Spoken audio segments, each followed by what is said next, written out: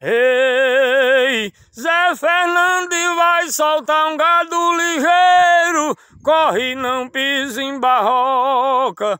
Tem uma vaca corredeira, que é ruim de sair da toca, corre valendo dois mil e o nome dela é fofoca. Ei.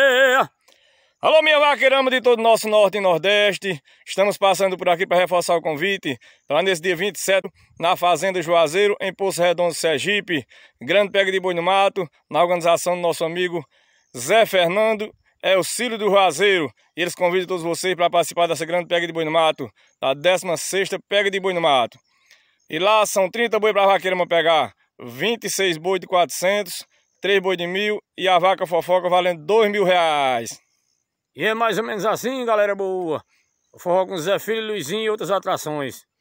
Vai ser mais, vai ser mais ou menos assim.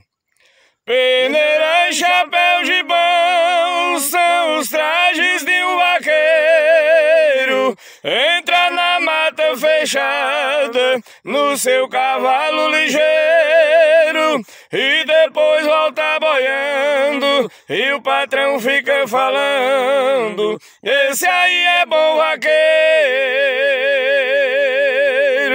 Chama o menino que a hora tá chegando.